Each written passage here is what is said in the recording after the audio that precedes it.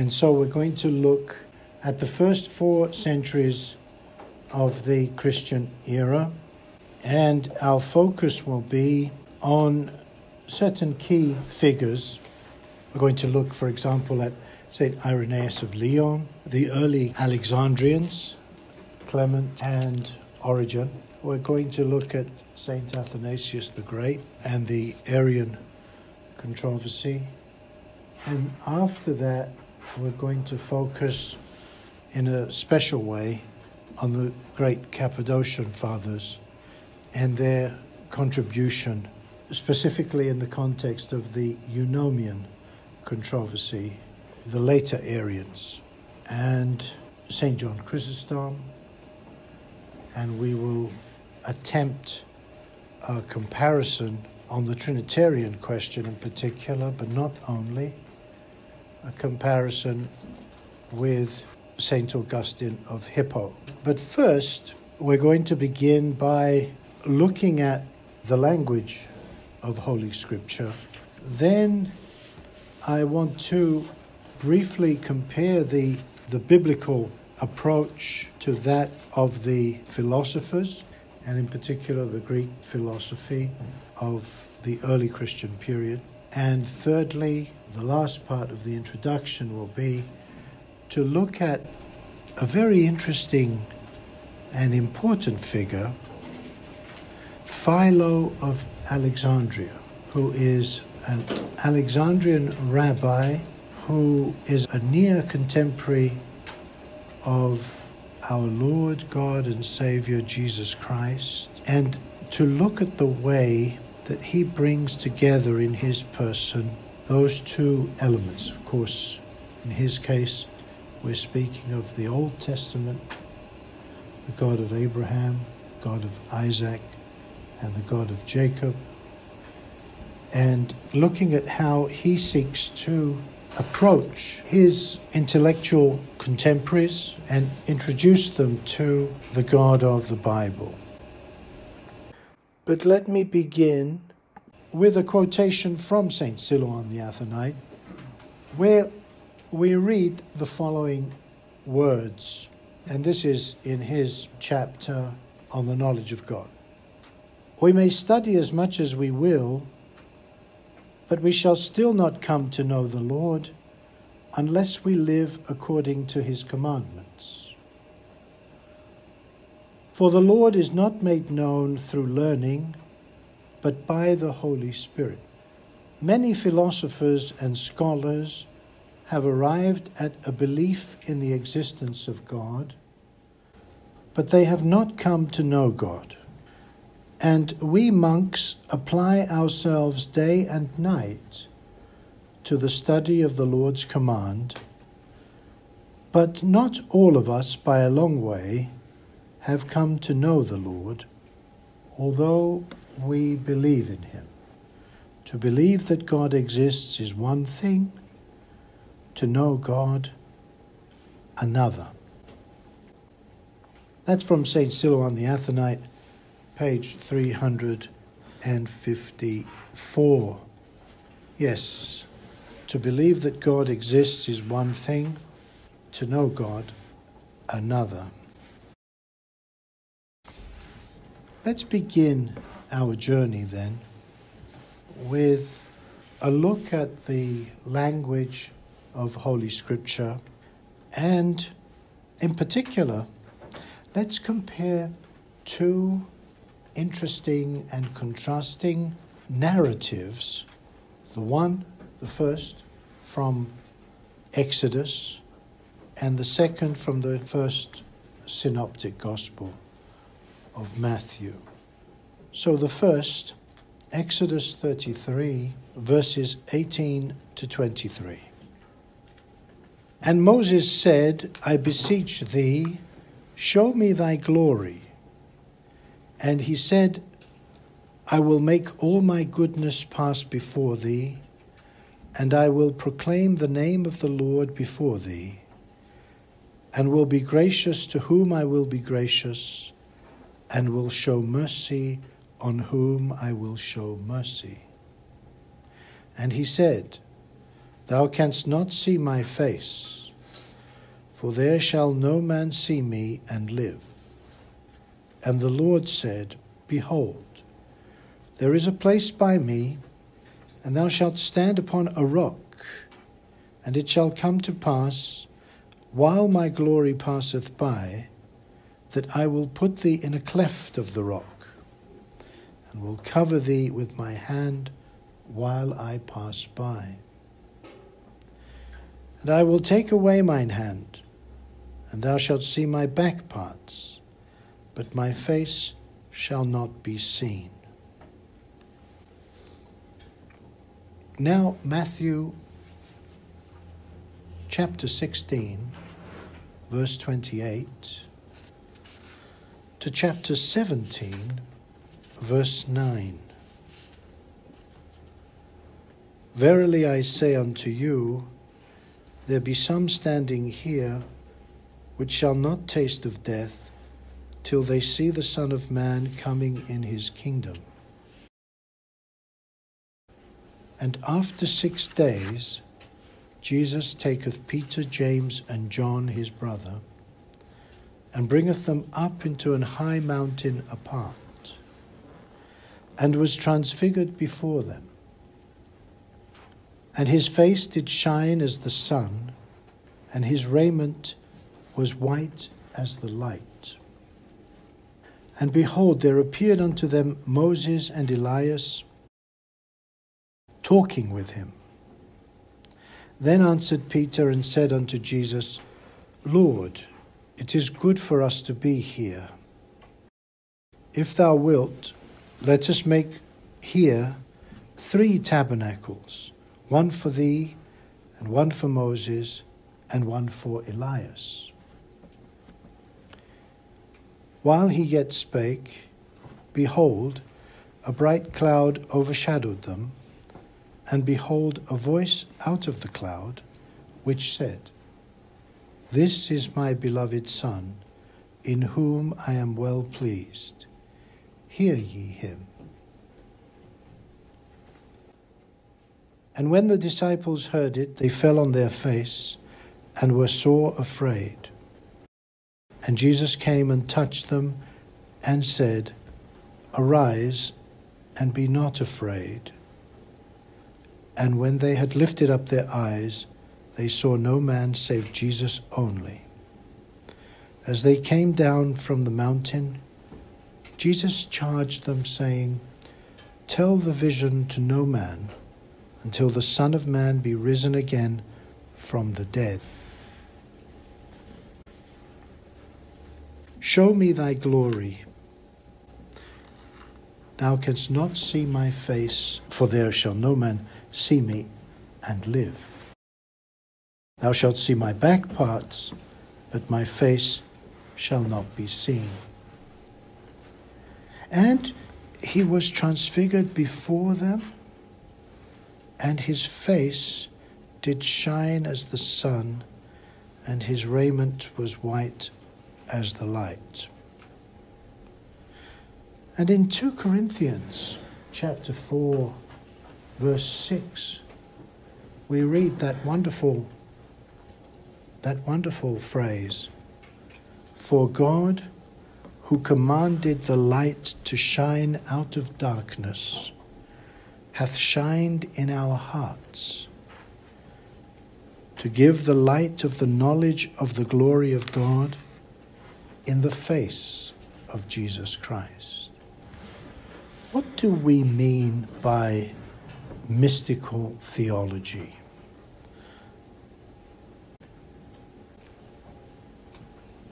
In the West, in the post Augustinian Western theological tradition. Mystical theology is often understood as a marginal theology, a theology that is reserved for those who are described as mystics, usually interesting persons, fascinating even, who have at some time or other been accused of heresy. In the Orthodox tradition, in the tradition of the fathers of the church, the tradition of the saints, mystical theology is theology. There is no other theology. Orthodox theology is mystical theology because mystikos is a term that comes from the verb mio, which means to initiate, to introduce one to. Mystical theology, first and foremost, in the Orthodox patristic tradition, and there is no other tradition, is the face to face encounter with God Himself. So, theology, the knowledge of God, is all about man's experience of God. That face to face encounter. It concerns also, therefore, the road to this encounter, the manner by which this encounter may be achieved, and its final goal, its final purpose, is nothing less than communion and eternal union with God. Now, in the language of Holy Scripture, we notice that certain words, certain symbols are used in particular. And the word symbol is used here advisedly because it comes from the verb simvalin, which means to draw together. In the Fathers, symbols are not mere visual reminders. Symbols, as Metropolitan Kallistos Ware maintains, often reach further, say more than a reasoned argument. They say more, more compactly than a logical explanation. So, what symbols in particular did the fathers find useful? Did they find helpful? We're going to look at the two main symbols of light and darkness. And both of them are to be found in the life of Moses, who is seen by a number of writers, both Jewish and Christian, as a symbol of the way. Let's take, for example, Exodus chapter 24, verses 9 to 11, which says Then went up Moses and Aaron and Nadab and Abihu and seventy of the elders of Israel, and they saw the God of Israel. And there was under his feet, as it were, a paved work of a sapphire stone, and as it were, the body of heaven in his clearness. And upon the nobles of the children of Israel he laid not his hand. Also they saw God and did eat and drink. Clearness, radiance, clarity, sapphire stone, and in Exodus 24 15 to 18, we find references to the glory of God and to a flaming fire. And Moses went up into the mount and a cloud covered the mount, and the glory of the Lord abode upon Mount Sinai. And the cloud covered it six days. And the seventh day he called unto Moses out of the midst of the cloud. And the sight of the glory of the Lord was like devouring fire on the top of the mount in the eyes of the children of Israel. And Moses went into the midst of the cloud and gat him up into the mount. And Moses was in the mount forty days and forty nights.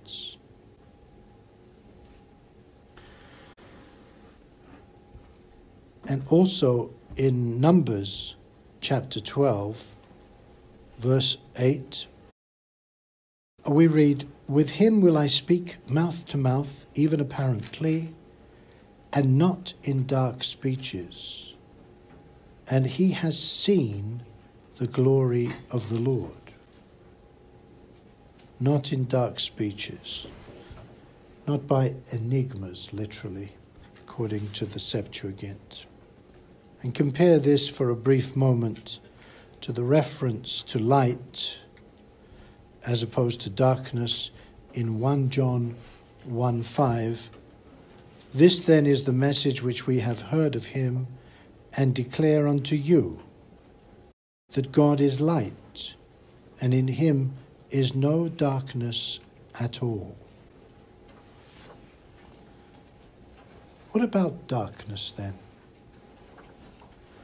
For example, we have the famous verse of Exodus 20 21, and Moses went into the darkness or the thick, dark cloud where God was. Not skotos, which is darkness pure and simple, but gnophos, darkness, the thick, dark cloud. Does darkness mean that Moses does not see God? Does this mean that what he sees, what he perceives, is beyond vision per se? That is beyond the senses. In Psalm 17, 11, or Psalm 18, 11, in the King James, the Masoretic text. He made darkness his secret place, round about him was his tabernacle, even dark water in the clouds of the air. Now, we need to distinguish different levels of darkness. First of all, we know that there is the the darkness of ignorance, sin. As in 1 John 1 5 to 8, that God is light and in him is no darkness at all. And if we say that we have fellowship with him and walk in darkness, we lie and do not the truth. But if we walk in the light, as he is in the light, we have fellowship one with another, and the blood of Jesus Christ, his Son, cleanseth us from all sin. If we say that we have no sin, we deceive ourselves, and the truth is not in us. So there's the darkness of ignorance, identified with sin. There is another form of darkness we find it not in an Orthodox writer, but in John of the Cross, one of the Spanish mystics. And I'm referring to the darkness of purgation, as John of the Cross describes it. As you know, John of the Cross speaks of the dark night of the soul. And John of the Cross puts forward his own method. And John's prayer, significantly for the Orthodox, does not begin with repentance, but it strives towards visionary, imaginative experience,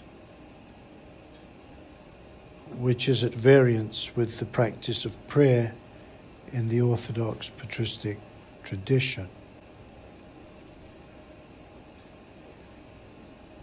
Two things really, perhaps they boil down to the same thing. The use of the imagination in prayer is not encouraged in the Orthodox tradition, and we certainly do not expect to see things. It's true, we have already spoken of the vision of God, face to face vision of God, and so forth. But there's a difference, and a significant one, between desiring to see God and expecting to see Him. It's a subtle but significant difference. More about that in due course, but for the third level of darkness, we are referring to now divine darkness, which is certainly not the same as the darkness of purgation as presented by John of the Cross, because it represents the journey's end and it is a positive symbol which expresses not separation but union with God, which of course is the ultimate goal. Now, the great advantage of symbols is that one can use apparently contradictory symbols without, in fact, contradicting oneself. As, for example, in the following scriptural passage. This from Psalm 138, verse 12 For darkness will not be darkness with thee, but night will be light as day. As its darkness, so shall its night be to thee.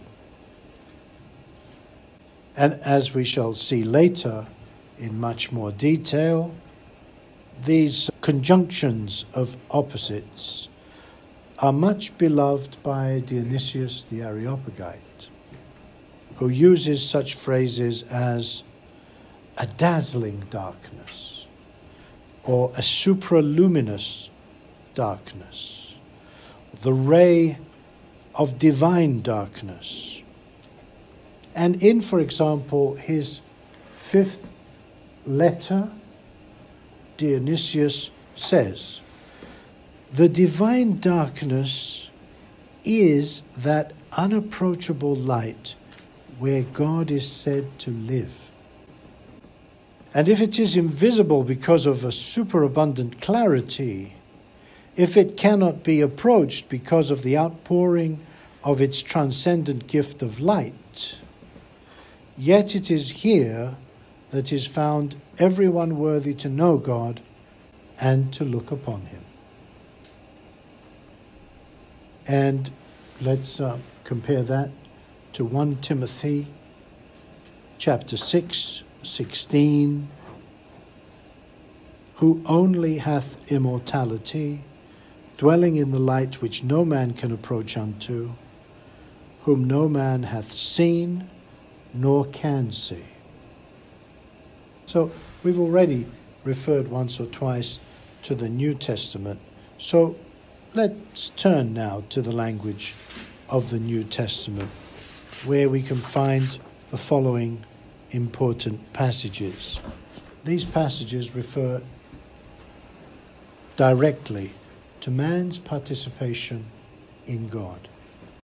So, first, 2 Peter 1, chapter 1 verses 3 to 4 according as his divine power hath given unto us all things that pertain unto life and godliness, through the knowledge of Him that hath called us to glory and virtue, whereby are given unto us exceeding great and precious promises, that by these ye might be partakers of the divine nature, having escaped the corruption that is in the world through lust. That we might become partakers of the divine nature. Is this mere rhetorical exaggeration, a metaphor, or does he mean what he says?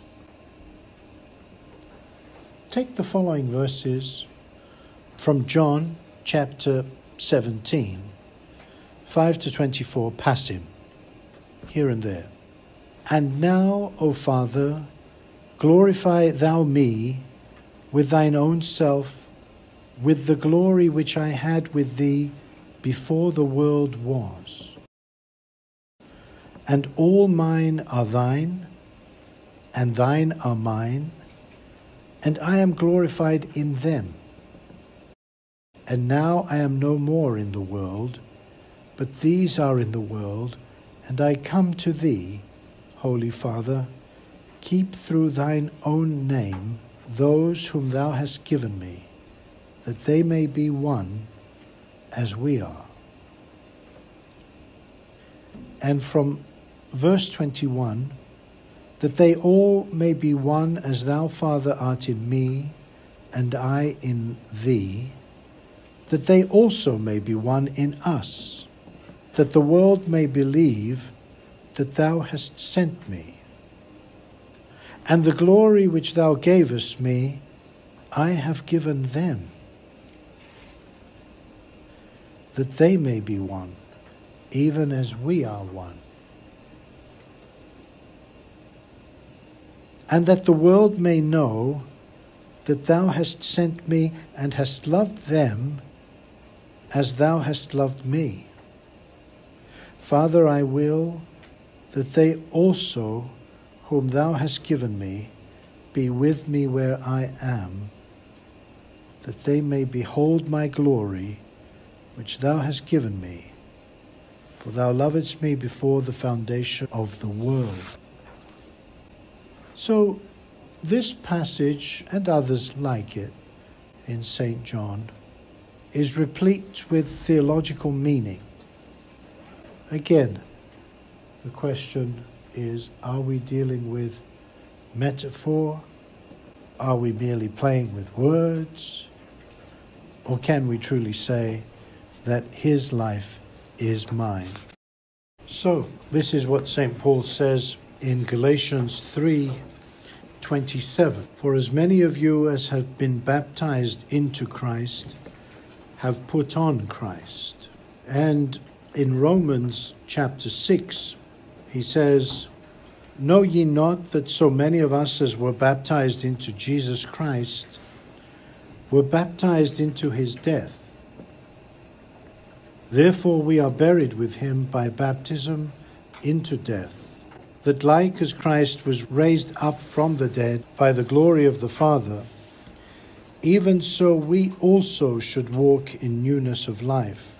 For if we have been planted together in the likeness of his death, we shall be also in the likeness of his resurrection.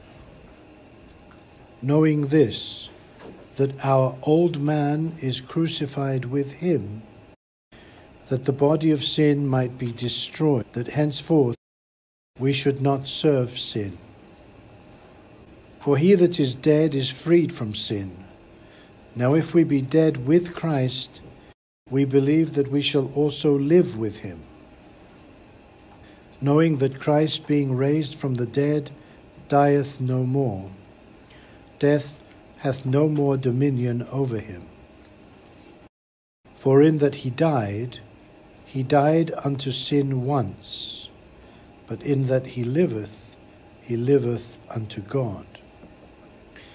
Likewise reckon ye also yourselves to be dead indeed unto sin, but alive unto God through Jesus Christ our Lord. Let not sin, therefore, reign in your mortal body, that ye should obey it in the lusts thereof. Neither yield ye your members as instruments of unrighteousness unto sin, but yield yourselves unto God as those that are alive from the dead, and your members as instruments of righteousness unto God. For sin shall not have dominion over you, for ye are not under the law, but under grace. What then shall we sin because we are not under the law but under grace? God forbid. Know ye not that to whom ye yield yourselves servants to obey, his servants ye are to whom ye obey, whether of sin unto death or of obedience unto righteousness. But God be thanked that ye were the servants of sin, but ye have obeyed from the heart that form of doctrine which was delivered you. Being then made free from sin, ye became the servants of righteousness. I speak after the manner of men because of the infirmity of your flesh. For as ye have yielded your members servants to uncleanness, and to iniquity unto iniquity, even so now yield your members servants to righteousness unto holiness. For when ye were the servants of sin, ye were freed from righteousness. What fruit had ye then in those things whereof ye are now ashamed? For the end of those things is death. But now, being made free from sin and become servants to God, ye have your fruit unto holiness, and the end everlasting life. For the wages of sin is death, but the gift of God is eternal life through Jesus Christ our Lord. And back to Galatians chapter 2 Verse 20, where St. Paul says, I am crucified with Christ. Nevertheless, I live. Yet not I, but Christ liveth in me. And the life which I now live in the flesh, I live by the faith of the Son of God, who loved me and gave himself for me. Now, such passages can be read in a mystical or in a non mystical way. But the fathers say that St. Paul means what he says. We may refer to the following examples of texts which speak of a direct, even of a complete, vision of God, such as 1 John chapter 3 verse 2. Beloved, now are we the sons of God, and it doth not yet appear what we shall be, but we know that when he shall appear, we shall be like him, for we shall see him as he is. We shall be like him, for we shall see him as he is. Note the implication that in order to see God, as he is, we must be like him. And 1 Corinthians 13:12 For now we see through a glass darkly, but then face to face. Now I know in part, but then shall I know even also as I am known. But to this we have the apparent contradistinction in the well known assertion in John 1 John 4:12 that no man hath seen God at any time. Theon udis popote de theate. And indeed, also 1 Timothy 6:16 as we read before, who only hath immortality, dwelling in the light which no man can approach unto, whom no man hath seen nor can see. So the fundamental paradox evident in Scripture is the revelation of a God who is at one and the same time unknown and yet known, a God who is simultaneously beyond us and yet closer to us even than our own hearts.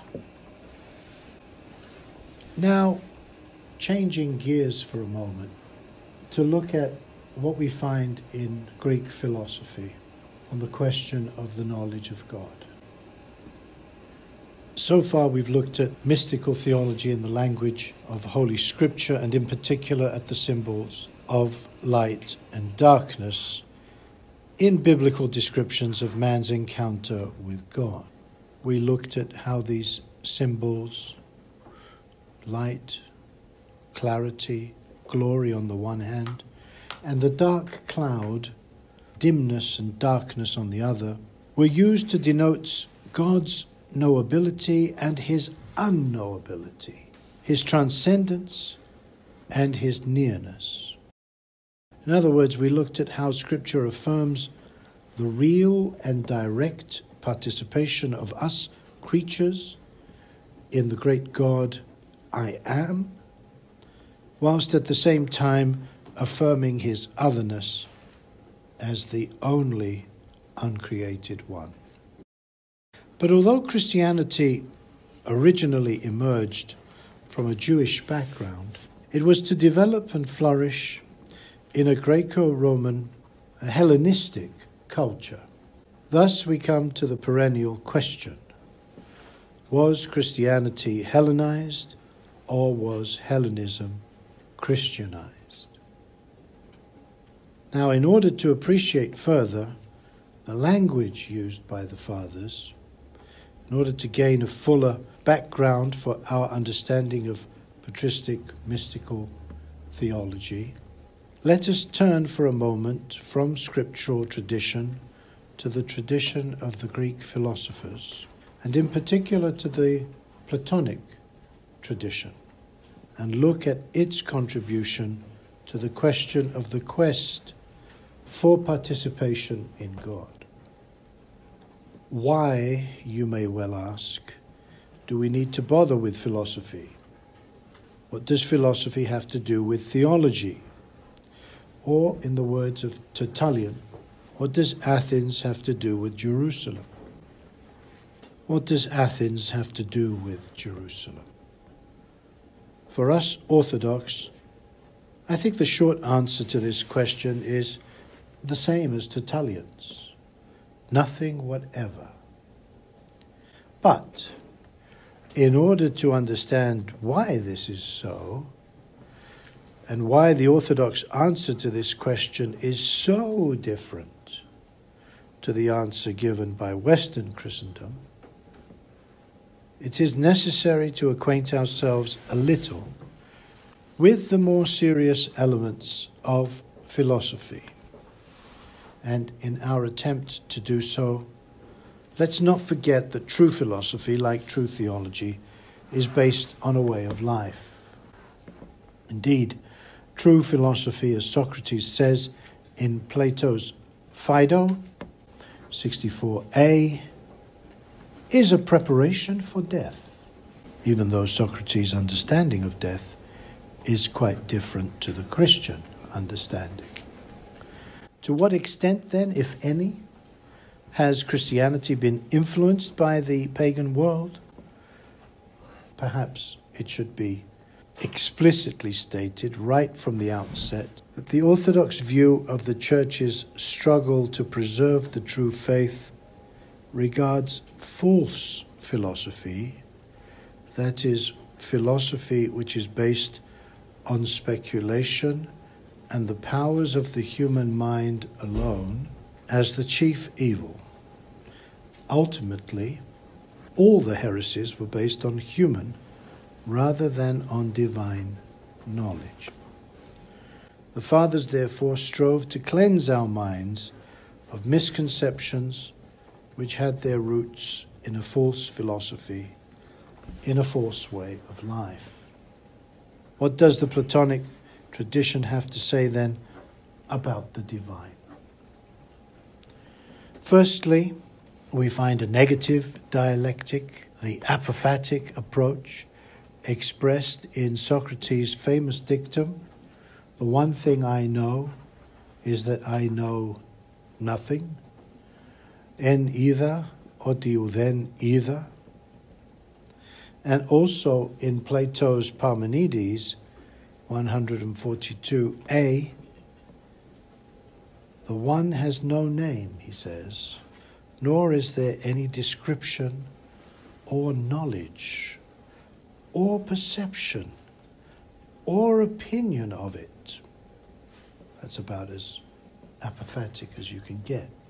And then in Plotinus, the, the middle Platonist of the third century, in his Enneads, Book 5, Section 3, paragraph 14, we read, For we say what God is not, but we do not say what God is. Again, these passages and others like them give us an apophatic approach to God. What we cannot say about the divine the apophatic approach can, however, lead to an affirmation if used positively.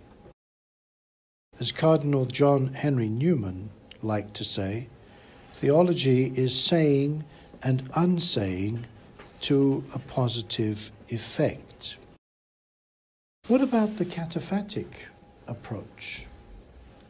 Well, in Plato's Republic, Book 6, we have positive statements which actually, I'm not so sure how cataphatic they are in, in the end. But he says the good is, that's a cataphatic statement, right? But it is not a being, so it's not an ousia, but in dignity and being is beyond being. And in his Timaeus 28c, Plato says that the creator and father of the universe is difficult to find, and when he is found, it is impossible to proclaim him to all. Plotinus says that God is beyond being, beyond activity, and beyond mind and thought. Ultimately, again, more apophatic than cataphatic. What does Plotinus mean by beyond mind and thought, or beyond intellect and intellection, beyond conception? That's a good intuition from an orthodox perspective. But it's clear that Plotinus is referring to a level of existence which exists beyond that of the nous the, the intellect or the mind, as it's variously translated into English, beyond that of the nous. Let's take a moment to remind ourselves of the Neoplatonic ontology, the, the Neoplatonic metaphysical view of the universe. First of all, in the Neoplatonic hierarchy of the cosmos, we have the One, God. The one is beyond being, ebekina tisousias, very Platonic, very familiar terminology, above and beyond being, indivisible, unchanging, eternal, without past or future, a constant self identity. Then we have the level of the nous, which is again philosophically it's translated as, as mind, intellect, sometimes thought. But this is intuition or immediate apprehension and is identified with the demiurge. It is the repository of the whole multitude of ideas residing within it indivisibly. Nous, which is also identified as beauty, is eternal and beyond time and sees all in an eternal present. That's the immediate apprehension. Then we have the soul, the third, as it were, in the metaphysical order of the cosmos. And the soul corresponds to the world soul of Plato's Timaeus. It's incorporeal and indivisible.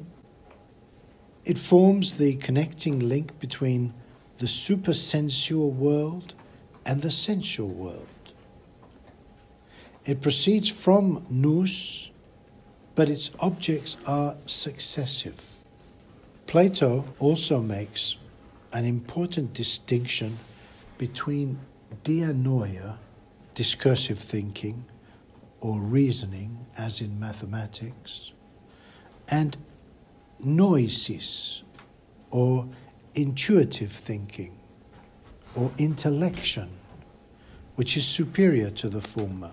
In his Republic, Book 6, 509d to 511e, he gives us this uh, distinction, and it's a very important passage on the question of participation.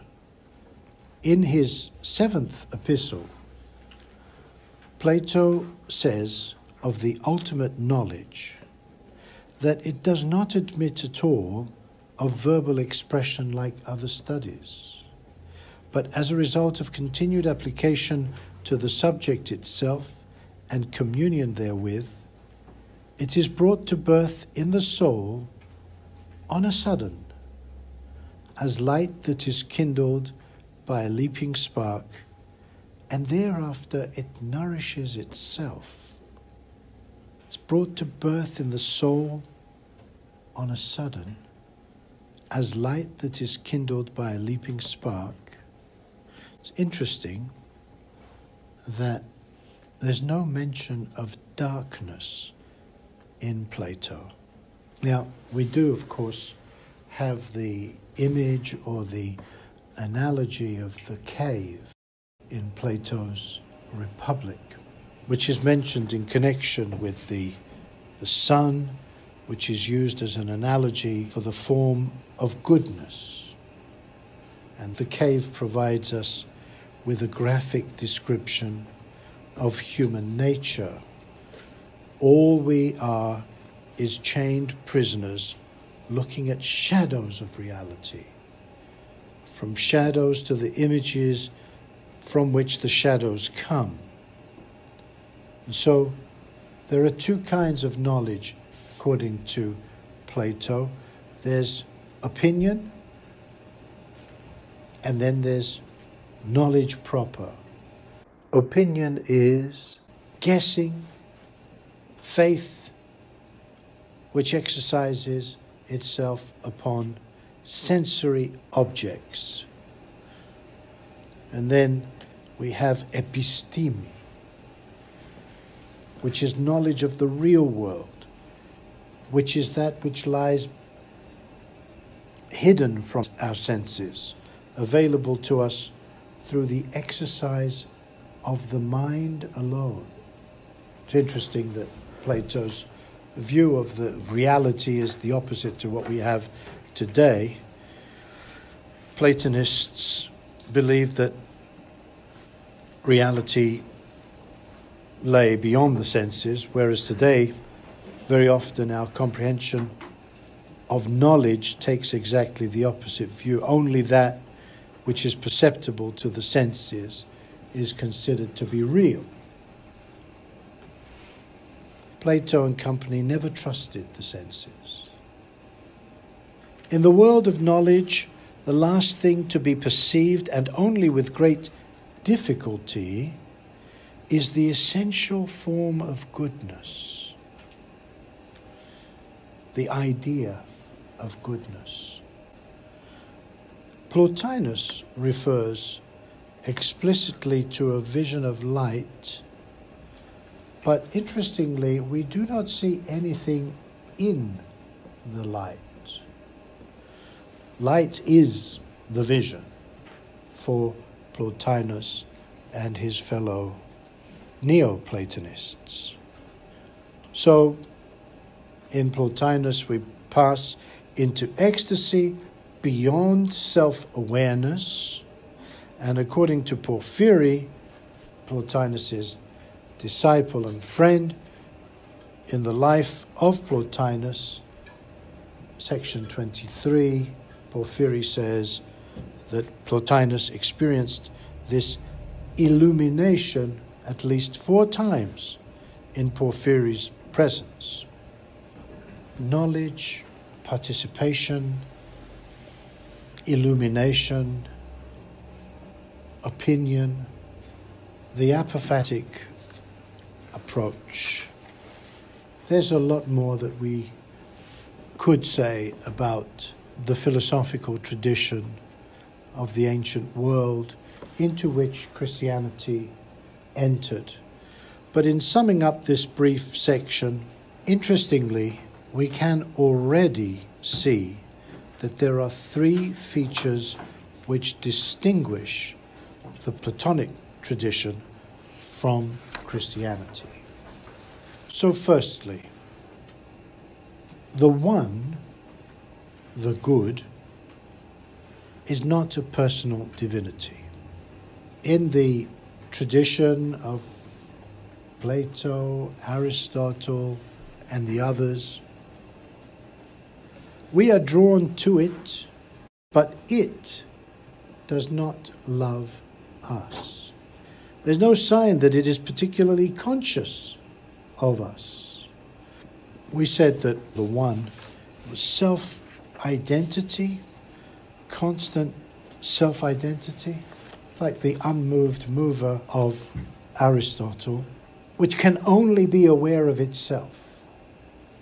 Otherwise, it would be involved in the life of the cosmos, in that eternal coming into being and passing out of existence, in the world of motion and change.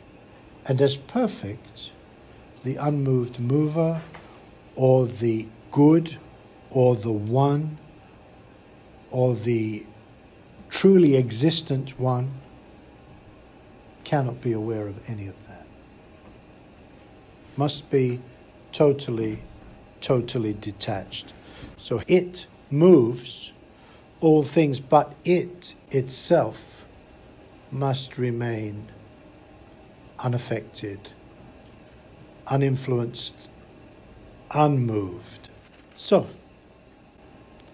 we are drawn to it, but it does not love us.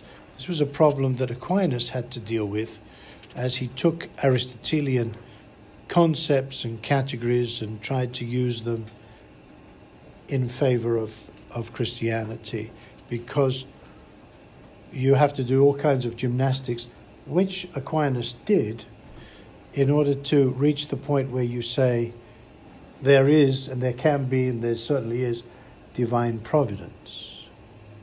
Because with the unmoved mover, there's not much room for anything other than itself. Secondly, then, we have the understanding that the ascent to God consists in a flight from the body, an escape from the material world, the realm of the physical senses. And the ascent to God involves only the nous, not the body. Porphyry, in chapter 1 of his Life of Plotinus, says that Plotinus was ashamed of his body. He never told anyone when his birthday was. Becoming intertwined with, encumbered by the materiality of a physical body is a great tragedy, the very least, a very unfortunate parenthesis in true human existence. True existence being the, the life of the soul. So, behind this disparaging view of the body, we have nothing less than a rejection of the body, of history, and of the world. This means that Platonism cannot believe in the incarnation, as indeed St. Augustine tells us in his Confessions, Book 7, Section 9. But it should also be noted that there is not as strict a dualism in Platonism as we would sometimes like to think. The strict dualistic view of spirit as good, matter explicitly identified as evil, comes with dualistic religious systems. The early Christian heresies had that. But Platonism itself, even Plotinus, never actually say, they don't have much good to say about materiality in the body, but they never actually identify it as evil. Now, thirdly, and this is very important, and it's so familiar to us really because it's all around us today, that the soul is regarded as itself by nature divine. And so we see in Platonism a natural kinship between the soul and God. That the highest part of us human beings is divine by nature. There's the famous passage in the second chapter of Porphyry's Life of Plotinus, where gathered around Plotinus's deathbed, Plotinus says to his disciples, Try to bring back the God in us to the divine in the all. MacKenna's translation, famous translation of Stephen McKenna, is considered better, and it says, Strive to give back the divine in yourselves to the divine in the all. Well, you can see quite clearly what is implied by that statement. It's precisely this natural kinship of the soul and God. That the highest, most noble part of the human being is in fact divine by nature. And of course, that's problematic from a Christian perspective because as we see, it's the difference between what you hear some people saying, and among them certain celebrities today who are influenced by this kind of metaphysic. They say, we must be thankful. And if you ask them the question, to whom are you thankful when you believe that you are divine by nature? And of course, the whole Christian life is based on thanksgiving. Eucharist, the central mystery of the Christian faith, and how many times in the prayers that the priest reads, the Eucharistic prayers, does he say that we thank God for bringing us into being out of non being, out of nothing, and, and so on.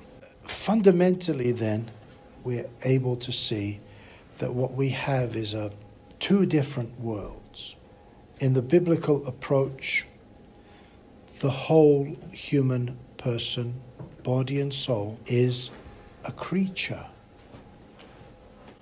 created by God. And created means ex nihilo, out of nothing. While in the Platonist approach, no distinction exists between the created and the uncreated. The chief line of demarcation is thus between God, the soul, on the one hand, and then the body. In Platonism, we have a descending hierarchy in the universe. The divine one, the nous, the kindred divine souls at varying distances from the one, and finally, bodies or matter. In the philosophical tradition, they do use the term created or creature, but when they do, they understand it in terms of matter receiving a form. So everything is pre existent, including the stuff out of which the furniture of the universe is made. But then the demiurge, which, as we said in the Neoplatonic metaphysic, is identified with the nous, gives this amorphous material a shape. And that shape informs it, gives it that form, it gives it a form and a function. So the form determines its function, and one thing is thereby differentiated from another. But everything is uncreated, everything pre exists. There is no such thing as something out of nothing. So, again, a very fundamentally different metaphysic. There is no distinction between the created and the uncreated. The distinction is between soul or spirit and matter or flesh. And of course, in the Western theological tradition, this philosophical distinction has played a greater role and acquired a more important place and is the main distinction. Whereas in the patristic tradition, the fundamental distinction is between the created and the uncreated. And only God, God Himself, is uncreated. Everything else is created, meaning out of nothing. In the post Augustinian Western theological tradition, you have this blurring of the created uncreated distinction and it being superseded, in effect, by the spirit matter distinction. The spirit matter distinction does exist in the Orthodox patristic tradition. But it is not the fundamental distinction, it's not the first distinction. And you'll see when we come to such important figures as Maximus the Confessor, you'll see that that is in fact how he presents things. Everything is based on the distinction between the created and the uncreated. Now, I know that there are speaking of the philosophical tradition, I know that there is the view that, you know, the kind of thing that we find in St. Justin, the martyr and philosopher, which is more generous towards philosophy and says that there are seeds of the truth to be found in philosophy. And so, yes, that is certainly the case. Wherever the truth is to be found, we as Christians understand that this is given by God and points to Christ. It is a seed, an element, an opportunity to preach the truth which is Christ. And we see that very clearly in the book of Acts with St. Paul on Mars Hill preaching to the philosophers about the unknown God, the altar that they made to the unknown God.